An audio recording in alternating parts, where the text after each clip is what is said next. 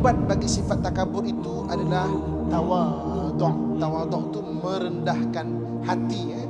Merendahkan hati. Kadang-kadang disebut dalam kitab merendah diri. Ada orang kata merendah diri itu menghina diri. Kita tak boleh menghina diri. Kita kena merendahkan hati. Eh? Tak boleh menghina diri, tak boleh. Eh? Eh? Ha, maksudnya, jangan kita menghina-hina diri kita, tak boleh.